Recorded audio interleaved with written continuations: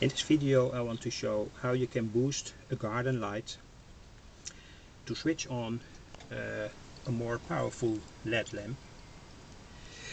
Uh, these garden lights uh, often consist of one solar panel, one battery and one LED. So take the garden light apart and mount the LED in a closed box, uh, closed for light I mean, and on the other in the other part of the box mount an LDR light dependent resistor. And with that light dependent resistor you can switch uh, a Darlington. And this Darlington switches the power LED here. And of course this circuit can be supplied uh, separately by a powerful uh, battery and a powerful solar panel.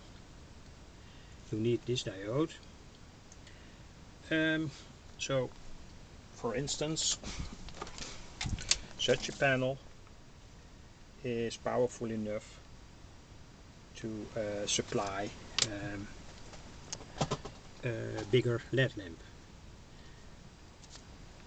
Um, I now want to demonstrate it, how you can make it.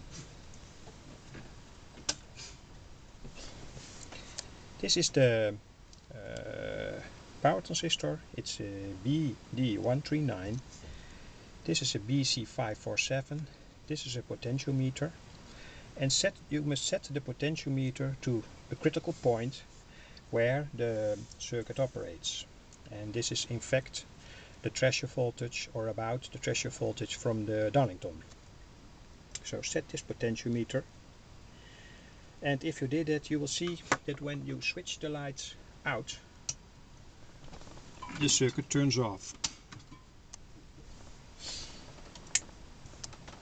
And now uh, let's assume it's, it's dark and the LED, uh, the, the garden light switches on and on the same moment the bigger powerful uh, LED unit also switches on. It's easy to make, I think the components are well available but of course you have to invest some time